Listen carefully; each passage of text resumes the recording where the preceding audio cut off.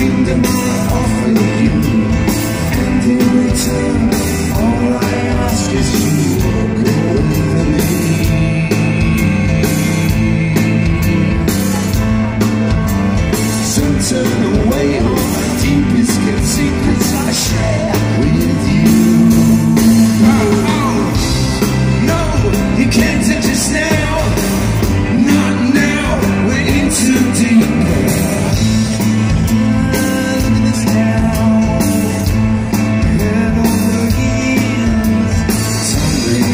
righteousness Stubborn, stubborn foolishness But our words can last tomorrow.